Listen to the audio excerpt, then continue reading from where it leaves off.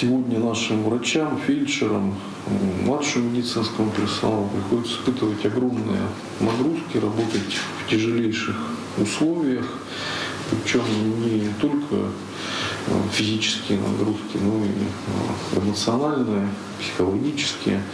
И, конечно, этот труд он должен э, во- вознаграждаться.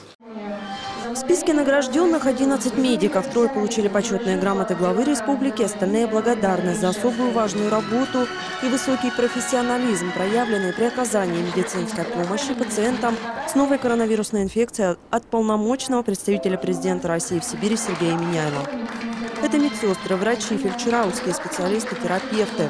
Старший врач Баканской скорой помощи Андрей Сапожников работает в медицине 40 лет. Медик рассказывает, то, с чем сейчас столкнулась страна, можно сравнить с военными действиями. Сейчас время очень непростое у нас. Сейчас мы переживаем самое непростое время. Вот не зря вот сравнивают, что вот как, вот как с войной. Мы как будто находимся на войне. Вызовов, конечно, очень много. По, вот сначала, когда было, еще когда только-только вот эта волна хлынула, были, значит, проблемы у нас. И, значит, с доставкой скорой, и как скорая помощь на вызова приезжала, то есть время было. Сейчас вот как раз было время, были трудности с госпитализацией. Сейчас, когда вот уже более-менее, сейчас это уже все стабилизировалось, можно сказать, успокоилось, сейчас мы, в общем-то, работаем ну, в таком уже плановом режиме. Катерина Ирушина, Антон Михайлов, РТС.